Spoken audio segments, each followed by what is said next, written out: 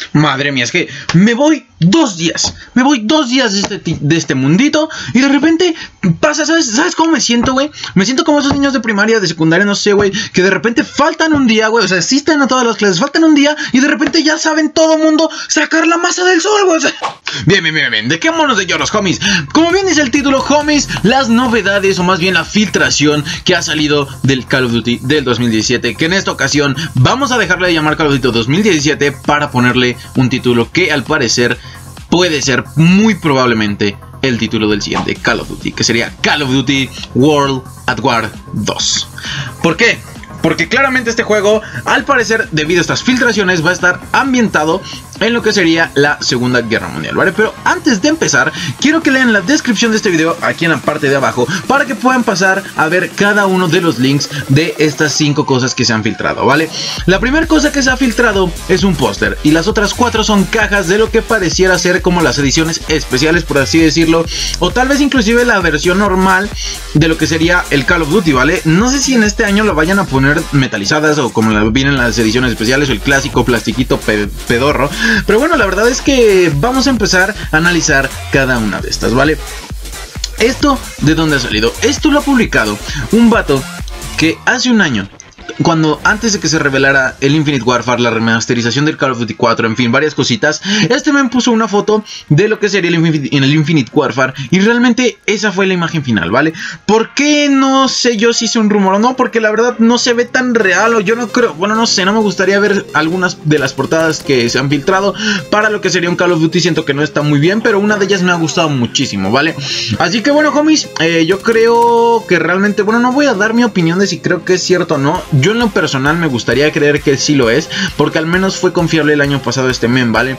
No sé si a lo mejor este tipo se puede aprovechar de lo mismo para hacer un Photoshop medio realista, así chido, y decir, ah, pues como ya creé hype el año pasado con algo que era cierto, en este año lo, lo voy a volver a hacer, pero siendo falso. En fin, yo creo que hay muchas opiniones divididas, pero nadie lo sabe al 100% si esto va a ser verdadero, falso o qué onda, ¿vale? Si me preguntan y si tuviera que dar una opinión, yo diría que realmente es verdadero. ¿Por qué? Porque se ve muy, muy bien hecho, ¿vale? No cualquiera sabe hacer un Photoshop de este estilo. No me refiero al... O sea, no me refiero que sea difícil hacer un Photoshop así. Me, me refiero que el, el estilo y la composición como tal es muy, muy buena, ¿vale? Así que bueno, vamos a empezar con lo que sería el póster. Bueno, Primero que nada, de fondo van a tener una partidita, como ya le están viendo, de Call of Duty 4 remasterizado, en la cual me sacó una inexorable ahí medio mamalón en Hardpoint. Pero bueno, no tenía nada más que ponerlo, así que es un gameplay que la verdad está más o menos de ver, está chido jugando al objetivo, en fin, varias cositas. Así que bueno, véanlo si quieren, o si no, solamente escuchen esta maravillosa cosa, ¿vale? Y bueno, después de ese cambio de pequeña toma, me acabo de dar cuenta que me troleó mi computadora y estoy hablando aquí como imbécil unos 10 minutos, por así decirlo. Pero bueno, vamos a volver a hacerlo porque vamos a empezar a hablar del póster, ¿vale? El póster, como le. Bueno, no les dije porque no escucharon puta, güey. Rodo, estás idiota, güey.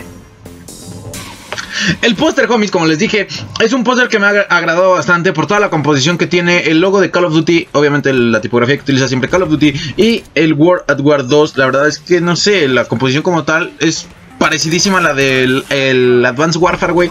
Por lo tanto, yo creo que esto, entre que puede ser y no puede ser verídico, yo creo que hay que confiar bastante porque no, no parece ser algo falso, ¿vale? Como les digo, la composición en cuanto a todo esto podemos estar observando ciertas armas. Eh, yo alcanzo a ver una Thompson por ahí, alcanzo a ver un M1, eh, no sé si sea una Arisaka por ahí. Hay, hay, bastantes armitas que a lo mejor alcanzo a reconocer. Algunas armitas de la Segunda Guerra Mundial. Y la verdad es que este póster está muy muy chido. Me gustó mucho cómo ocuparon en la parte, en la parte posterior. Sí, en la parte posterior o en la parte de atrás de lo que sería la imagen como tal de los soldados en guerra. Lo que sería meter la tipografía de World War 2 de fondo. La verdad es que se ve muy muy muy chulo. ¿Vale, comis? Como les digo, aquí abajo en la descripción, pásense para que puedan ustedes al mismo tiempo que me escuchan ver las imágenes y comentar más o menos qué observan ustedes, ¿vale? Por así decirlo, podríamos decir que hay armitas que ya podemos ver desde ahorita que van a estar, obviamente.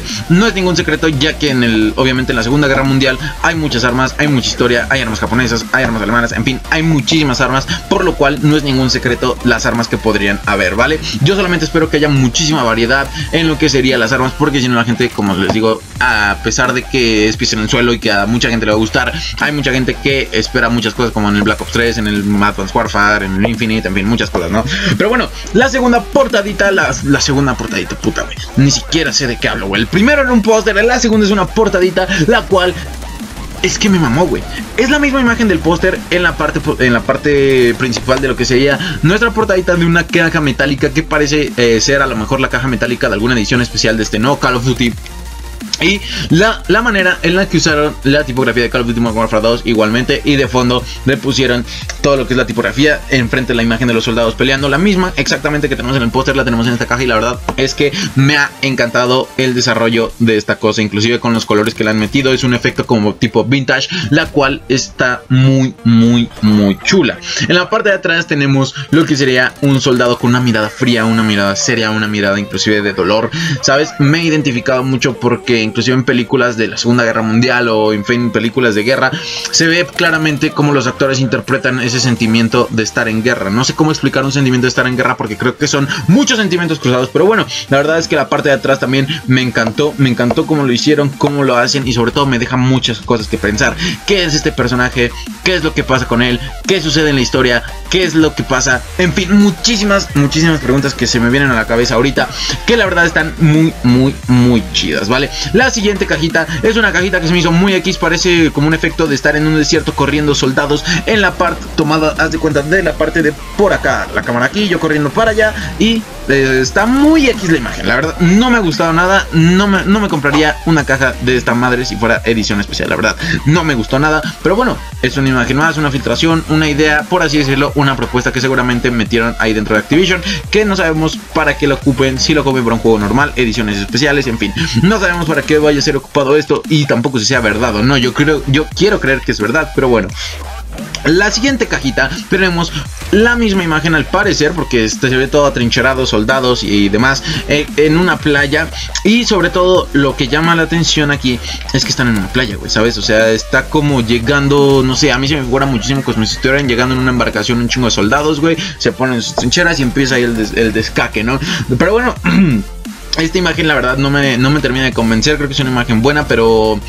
Mm, no sé, si yo viera un Call of Duty así, no sé, haz de cuenta, ¿no? Yo, persona X, eh, no conozco Call of Duty, veo el juego, haz de cuenta en un Liverpool, un Sambors, la, tienda que ustedes compren, un Game Planet, me, vale madre, ¿no? Y yo digo, eso es un juego de estrategia, no lo quiero. No lo quiero, ya está. O sea, me intriga mucho más la primera caja que la verdad está muy muy bien hecha, ¿vale? Activision, si me escuchas, sigue mis consejos. Yo soy crack, yo soy pro, güey. Este, yo lo sé todo. Y, ¿sabes? O sea, debería de ser creativo en tu, en tu, en tu empresa. Obviamente no, o sea, no, sé qué hablo, pero bueno, la verdad es que no me ha gustado como tal la composición, así que bueno, ahí está mi opinión. Es muy respetable lo que ustedes opinen. No olviden de que aquí en la descripción van a estar las imágenes, neta, háganme caso para que puedan verlas ustedes, ¿vale? Yo no las puedo poner en el video por temas de copyright y cosas así, pero bueno, la verdad es que están muy muy chidas y se las dejo en la descripción para que ustedes puedan ir a verlas. La última cajita me ha gustado bastante. Parece ser la misma foto, el mismo póster, pero en lugar de viéndolo de frente, parece tener una perspectiva así, ¿no? Una perspectiva de lado, la, una tres cuartos más bien dicho, que está bastante chida. Podemos observar de nuevo un arma que parece ser el modelo del M1. Tenemos en la parte de atrás una Light Machine Gun, una clásica ligera, ¿sabes? De esas que son japonesas, o no sé, parece haber una banderita ahí de Japón, no, no sé, no sé la verdad. Pero bueno, esta imagen me ha gustado mucho porque el efecto que le han dado de, haz de cuenta, aquí negro y en el fondo la misma imagen, pero con un poco de desenfoque, ¿vale? O sea, ese efecto me encanta, güey, porque es como que resaltas una persona y el desenfoque atrás se alcanza a ver, obviamente, la situación, el contexto de la imagen, pero tú quieres resaltar, evidentemente, al soldado que parece ser, de nuevo, el personaje principal, ¿vale? ¿Cómo se llamará este personaje? ¿Cuál sería su historia? No sé, no sé, me gustaría que en los comentarios se debrayaran un poquito para más o menos interactuar sobre qué opinan de este tema. ¿Es verídico? ¿Es falso? ¿Se ha filtrado falsamente, se ha filtrado bien, se ha filtrado solamente como un rumor más de todos estos que al parecer están saliendo. No sé cómo clasificar esto, si verdad o rumor, pero bueno, esto me gustaría mucho que lo debatieran en los comentarios. Y bueno, sin más, homies, espero les haya gustado estas nuevas filtraciones, hayan sido sagrados y si nos pueden dejar un gran like, comentar y suscribirse para más videos de este tipo. Nos estamos viendo en un próximo video, se lavan la papayita y adiós.